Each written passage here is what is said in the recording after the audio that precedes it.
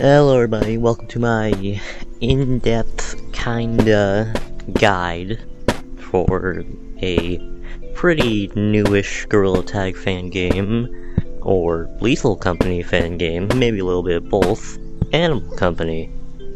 As you can probably assume, it's like uh, Gorilla Tag and Lethal Company combined, and it's fun, so I'm making a guide on it so that other people can have fun playing it, and not be confused. So here's the basics. This is the spawn. Uh, it's pretty safe in here, except for other players that love exploding other players in public lobbies, you know, all that good stuff. Out there is where you gotta go to actually get to the good meat of the game, where you get all the loot see all the monsters. First, let's cover this little watch. This watch is like, well, it tracks your money, your health, how much stuff you have in your backpack, which we don't have a backpack yet. You have to buy one. Uh, it also tracks your channel. Pressing this button also like shows you a little tiny radar which shows enemies. See, this mine is an enemy, so it's a little red dot. And if I had any loot around me, it would show the loot as a little yellow dot. Uh, this right here, I'm not sure if I mentioned it yet, but that's the channel. Can press in the left stick to change the channel. That's uh, basically just the the walkie-talkie channel. So, say someone's on channel zero and they speak into the uh, you know thing, then if you're also on channel zero, you can hear them. If you want to talk into it, you gotta put your uh, face up to it like this. Just make sure it's green, that means people on the same channel so you can hear you. This is where you will sell stuff. Uh, we don't have anything to sell, but we will soon-ish, maybe. Got some other stuff to cover before we get to looting. But yeah, we'll go back there once we get to the loot and stuff. These are uh, the items you can buy, which we will also get to later. Anyways, the first thing I'm gonna cover are the enemies. Obviously, the landmine right here, that's kind of an enemy. If you step on it, you die. I'm not gonna demonstrate, it's pretty simple. Next up is red light, green light, or the Watcher. This is probably going to be the first enemy you encounter except for the landmine. Following the rules of red light, green light, uh, go into red. Yep, you're dead. At least if it's red. If you move when it's red, then you're dead. Hey, that rhymed. That's why I said it like that. A tip for these guys is that if you're behind a wall, or like out of their line of sight when they're red, then you can just move freely, even if, you know, they're red. As long as you're out of their line of sight, you can move no matter what color it is.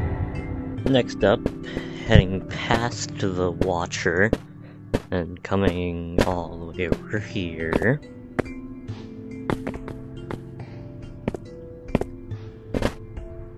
Our next monster is this bird thing. Except it has a mouth. Real big. I mean, most birds have mouths, but this one got an, uh, an exceptionally large one.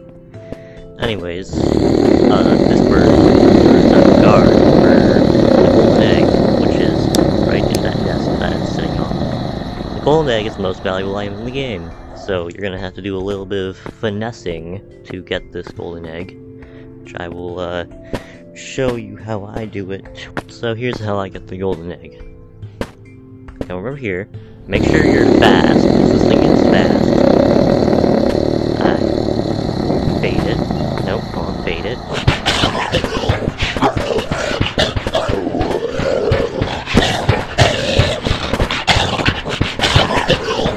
And grab it from the nest, and boom, now you have it.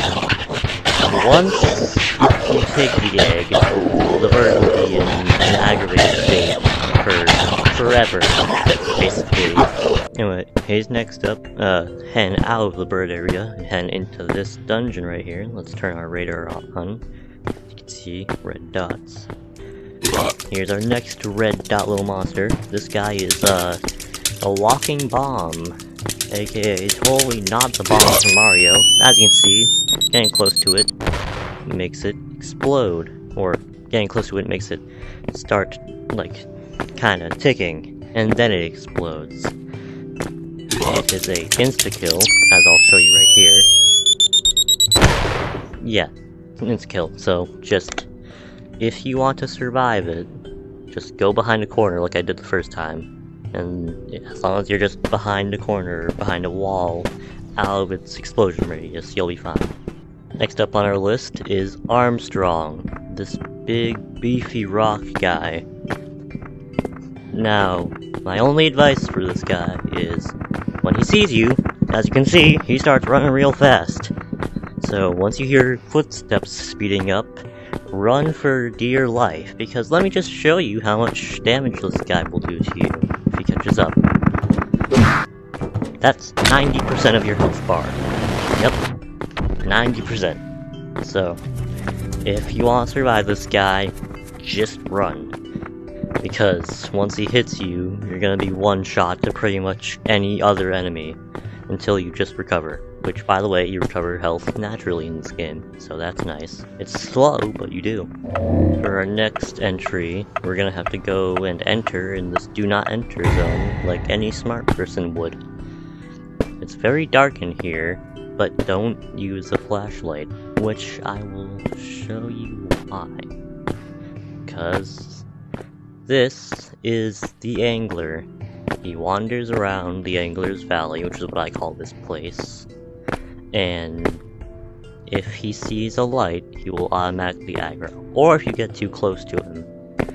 Uh, he does about 40% of your health bar if you get hit by him, and he attacks relatively slow. It is possible to outspeed him, but it does take a little bit of stamina. I'm saying this all right now, because it's about to get very loud once I aggro him. So you wouldn't be able to hear me if I was trying to tell you this information while he was aggroed. So let me just show you.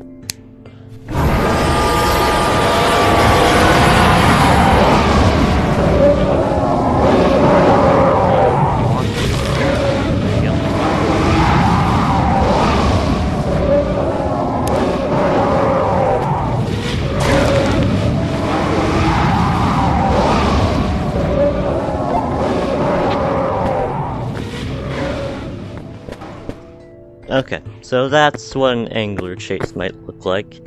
As you can see, he hit me twice, so we're at about 20% health. Now, a little bit of a tip for uh, angler. As you can tell, since he is attracted by light, you can get pretty damn close to him without him aggroing on you. As long as you don't have your light on like right there. Got real close to him, and I just slipped on by because I didn't have my light on. And speaking of lights, the second tip is when the angler aggroes because of a light, the angler is uh, aggroed and attracted to the source of the light, not the player that used the light. So if I attracted to the flashlight, not me. So, if it if it is a case to where you have your flashlight on and you accidentally aggro the angler, just yeet your flashlight all the way out of there and you'll be fine. Anyways, that's just about all for the angler. You can also lure the angler like out into any section of the map, so maybe some troll like lead angler into spawn, so just be wary of that. Alright, so now that we've learned all about the enemies, let's learn all about the items. First up, as you probably saw in the last clip, uh, or for just in general all the stuff on the Angler, the flashlight. It's uh, just your normal run-of-the-mill flashlight. It really helps in dark areas like the dungeons, but it's not necessary in the dungeons. If you know how to navigate dungeons well enough, and just learn their layout, you don't need a flashlight. But it is useful if you're just like a beginner, learning all the stuff. Next up is the backpack, arguably the most important item in the game. This one is essential, basically, no matter what, for having a scavenge in a dungeon. You can press B if you're holding it in your right hand, or Y if you're holding it in your left hand, to open the bag up and just put stuff in there.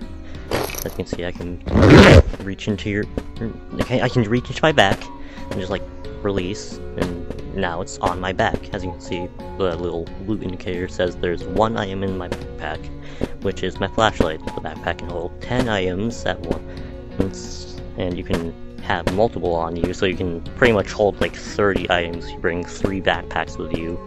It will be a bit hard to manage though if you do that. Anyways, I can then reach into my back again, grab it, open it, and then just pour my flashlight out. Now I have it. Nice. So yeah, that's basically the main stuff about the backpack. Next up is the crowbar. The crowbar can be used either as long arms, which people really seem to like doing for some reason, even though it's not that efficient. As you can see, moving around with it is kind of like wacky. But the other use for it is it can kill monsters, such as the Watcher in about 20 hits. Also, do not attack the Watcher with the crowbar when it's in the red state. It will aggro.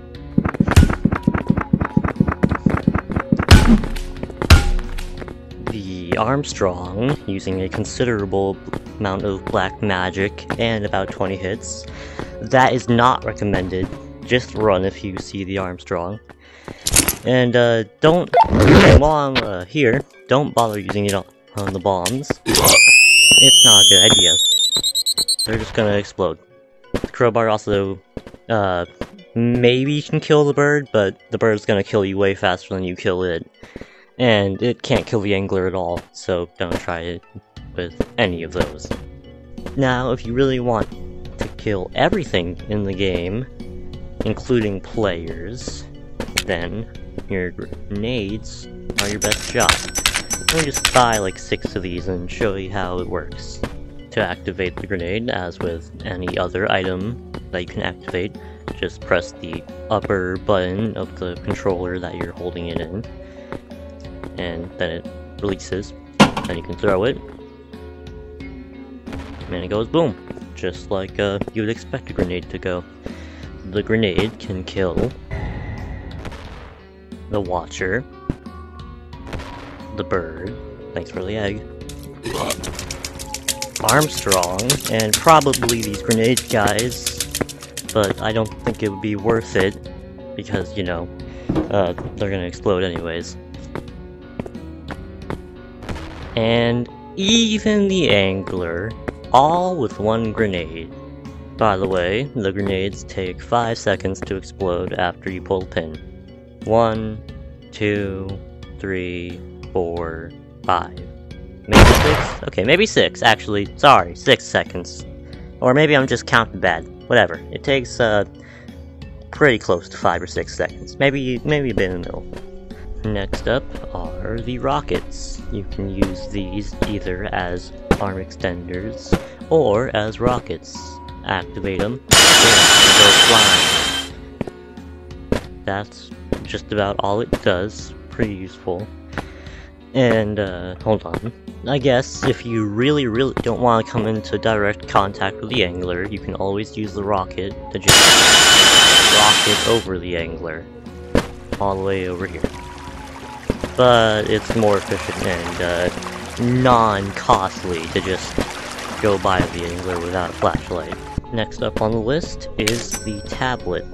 Basically, it's just an enhanced version of your watch. As you can see, it shows all little red dots. There's the mine. That's that's so bad. And if we head over here into a dungeon, as you can see, it displays all the yellow loot dots on the map too. Just in a wider radius. As you can see, if I move over here, my watch isn't displaying all the loot, but it is displaying on the tablet. And, ah, see, I don't know if you haven't noticed, if you haven't noticed, I don't know how, but there is also a entire map of, you know, the entire, the entire map on the tablet as well. So, that's pretty useful if you need to find your way around places, too. Next up, we have the floodlight. As you can probably assume, it's like the flashlight, but flood of light. if you didn't want to use the flashlight in the angler area, you definitely don't want to use this in the angler area. I mean, just for example, let, let, let's uh, stand, let's stand all the way back over here. Yeah, safe for now. Boom, the aggro's all the way over there. Don't. What? Yeah, he's going over to the light. As, uh, as demonstrated in the tip in the angler section, you know? Yeah, just, just don't use the floodlight when you're near the angler.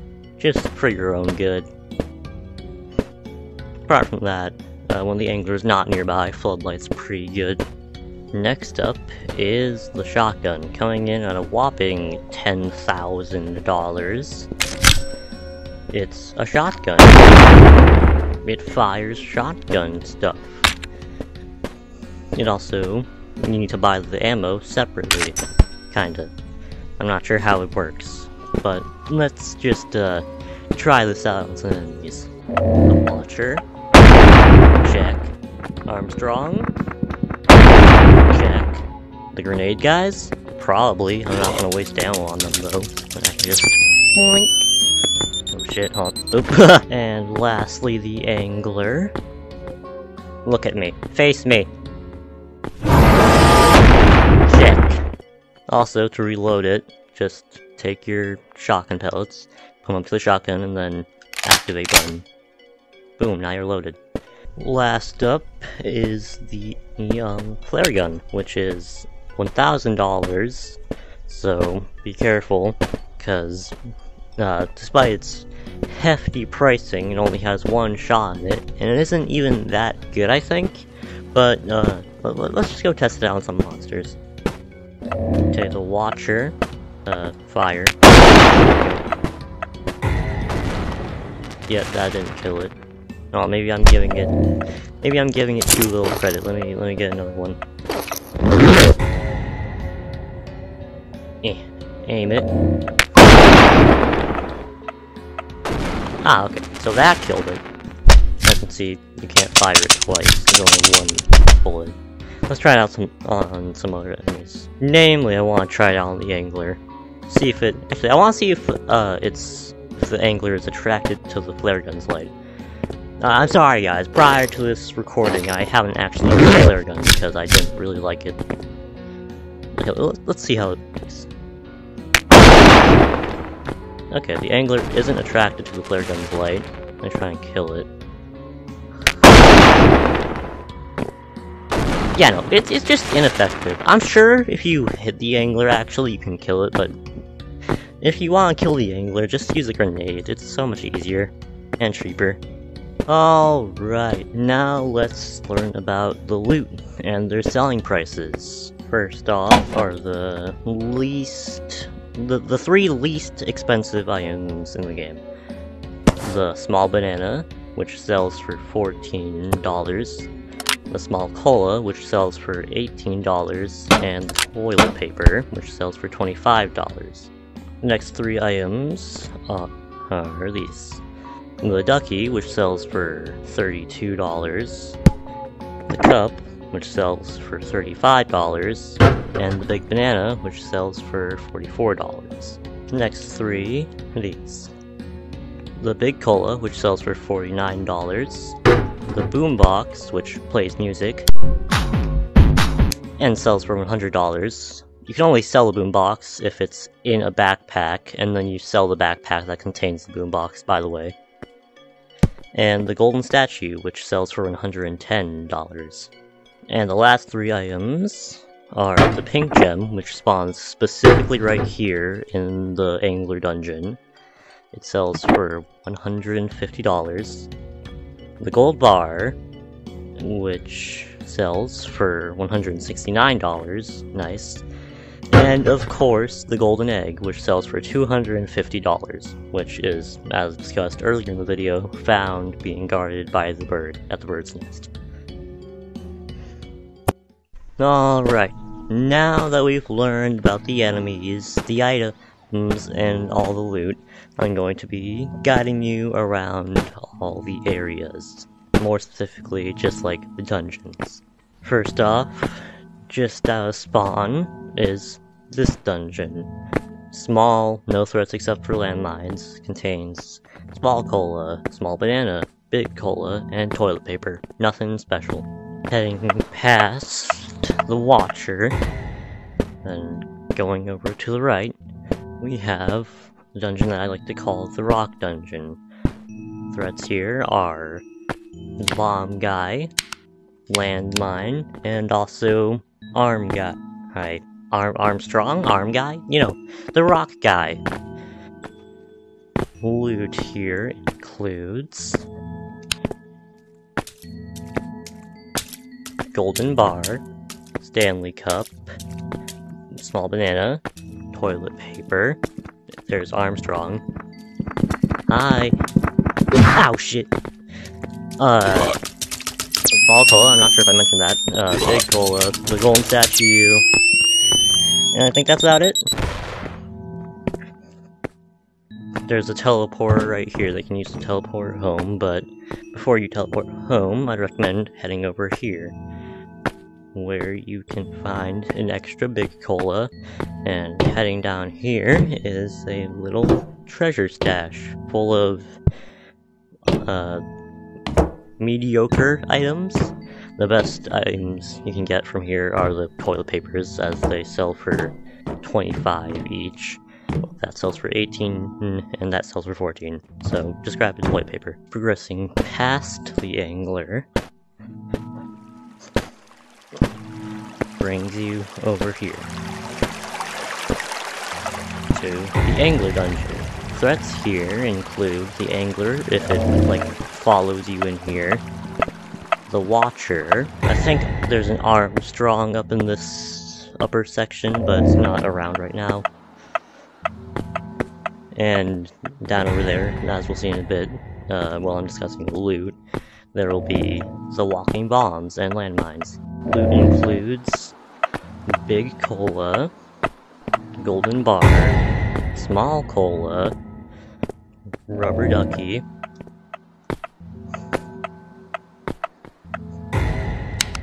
toilet paper. I'll just progress through here to show you how you, you know, get through. There's some loot down here. New item. Big banana is also here.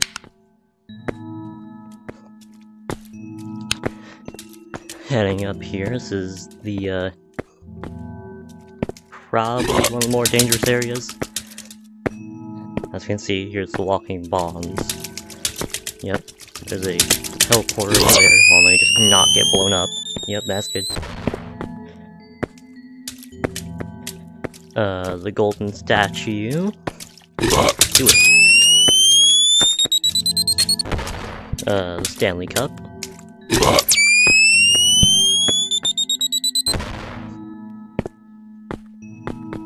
Uh, more of the same stuff around here. And heading out here, this is like the main loot area. There's no threats in here except for lava. Here is the gem. It's a little bit overhyped since it's the third best selling. When there's like two gold bars in here, and the gold bars sell for more than this. But you know, it's, it's a nice extra find to add on. And heading through here, there's an extra golden statue. So that's just about it for the loot. If you go back to the top, there's like a another like splitting path, but I never go down that splitting path, so you shouldn't either because it's like it's basically just a death trap where Armstrong's gonna corner you and murk you, and there's like barely any good loot in there. So now that we know pretty much everything there is to know, I'm going to show you how I get $1,000 scavs pretty much guaranteed with only a singular backpack and nothing else. So you're basically gonna be making $950 profit. Anyways, let's go. come over into this dungeon and grab the big cola from over here. Basically, the main loot you're going to want to be getting is the big cola and anything that sells for more than the big cola. Sneak past the angler.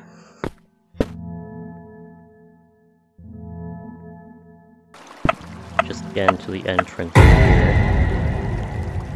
There's the Armstrong. Alright, yep, rotate that corner. Come over here, we're gonna be heading back up to over there in a second. Put that in there. And that there. Armstrong's tweaking a little bit, so we should be fine to just go grab this golden bar. Golden bar. Take it down here. Pause. Head on over here. Down here. Grab this big cola. Run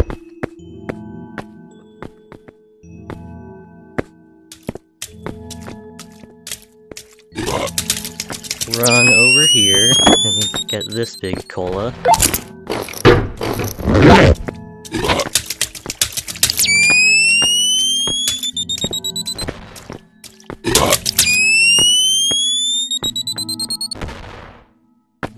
Get this golden statue. Get these two big colas. Sorry if it's dark. You're uh, supposed to know how to navigate through here. Appears I'm full up on, stuff, so uh, I think I did my job a little too good, even.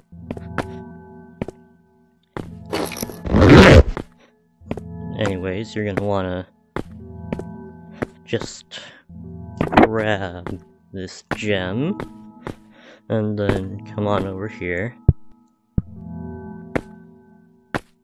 And grab this.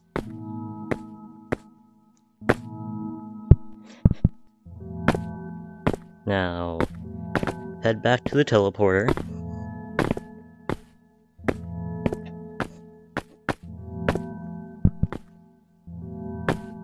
And just zap your way on out. After that, you'll be spawned back up here. Head over to the selling area. And then statue in and put your back in.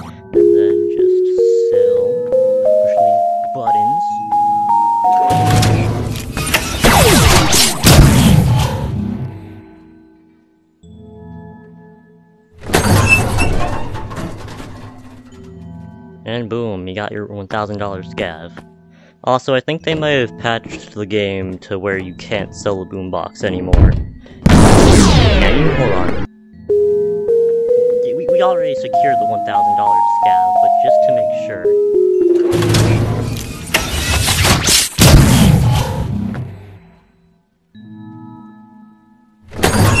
Okay, yeah, you can't actually sell boombox anymore. I thought you could, but I guess not. They patched it. Yeah, that is still a $1,000 scav though, so we take what we get. Anyways, uh, yeah, that's about it for this guide. I hope you learned and can now become a professional, uh, animal of the company. Hence the name Animal Company. And, uh, yeah, like and subscribe, because it took me a little bit to get all this information. And, uh, I might see you Friday for when this game gets updated again. Uh, yeah, bye.